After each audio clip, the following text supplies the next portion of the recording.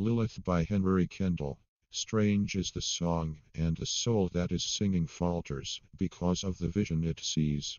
Voice that is not of the living is ringing down in the depths where the darkness is clinging, even when noon is the lord of the leas, fast like a curse to the ghosts of the trees. Here in a mist that is parted in sunder, half with the darkness and half with the day. Face of a woman, but face of a wonder, vivid and wild as a flame of the thunder, flashes and fades, and the wail of the grey water is loud on the straits of the bay. Father, whose years have been many, and weary elder, whose life is as lovely as light shining in ways that are sterile and dreary, tell me the name of this beautiful peri, flashing on me like the wonderful white star at the meeting of morning and night.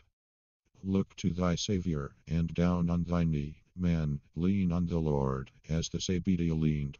Daughter of hell is the neighbor of thee, man Lilith, of Adam the luminous leman.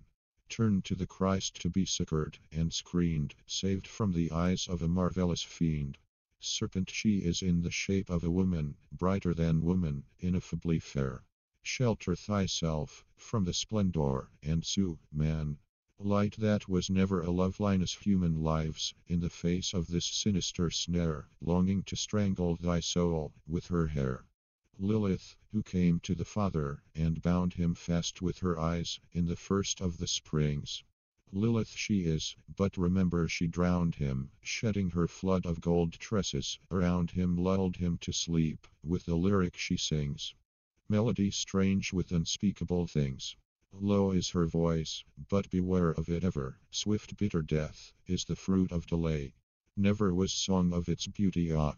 Never heard on the mountain, or meadow, or river, not of the night is it, not of the day fly from it stranger, away and away.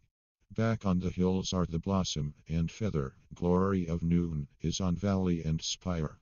Here is the grace of magnificent weather, where is the woman from gulfs of the nether?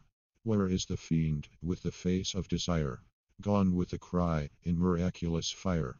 Sound that was not of this world, or the spacious splendid blue heaven, has passed from the lee. Dead is the voice of the devil audacious. Only a dream is her music fallacious, here in the song, and the shadow of tree, down by the green, and the gold of the sea.